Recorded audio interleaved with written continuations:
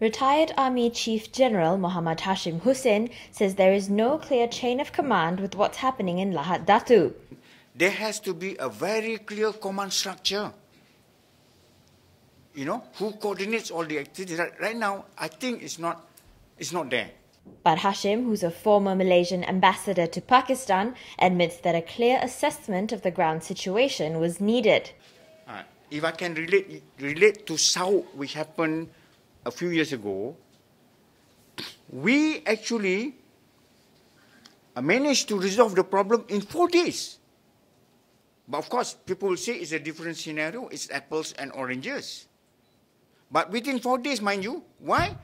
Because of this very clear command structure, a rapid deployment, clear orders, clear command and control, plus we had the right troops to the task, or what we call troops to task. This is the military parlance.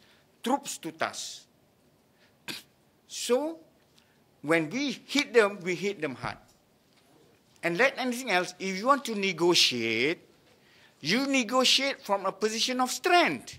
Hashim also officially joined PKR today, saying he was attracted to his former schoolmate Anwar Ibrahim's leadership.